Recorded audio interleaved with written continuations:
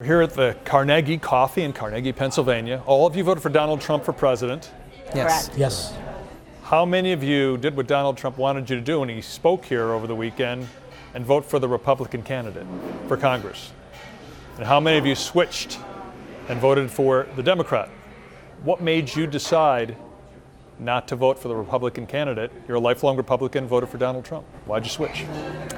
I made the decision very early on in the campaign.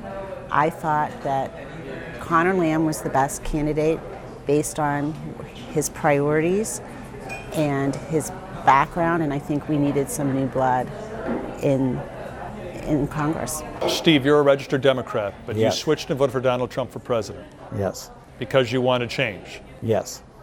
And Donald Trump said, okay, vote for Saccone if you continue to want change. Did you not agree with and believe in that message? I started believing Donald Trump six months ago. And why? I just don't trust anything he does. I, I'm a vet, and uh, I'm, I'm actually ashamed of my same seat polls, and I'm ashamed to be a vet.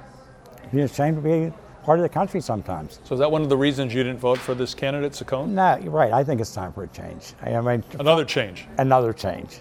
You voted for Saccone, but you, you're saying you thought Conor Lamb was a better candidate. I think he ran a better campaign.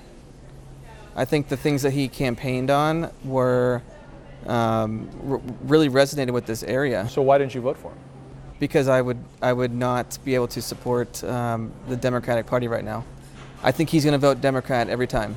So he said, you know, he comes off as a conservative Democrat. He comes off as a conservative, but he's going to vote Democrat, in my opinion. great candidate. I mean, he's not going to be a very good congressman in our eyes because he's not going to do what he said he was going to do.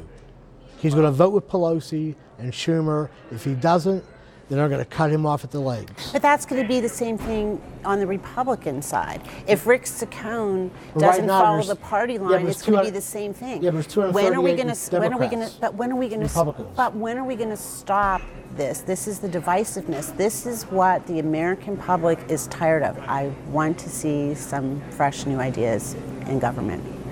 That's why we voted for Trump. Yes, I totally Yeah, agree. I- That's I- exactly I- right. We all agree on that. And they're Yes. there. agree with that. Gary, I know you've talked to a lot of Trump voters in Western Pennsylvania over the past couple of days.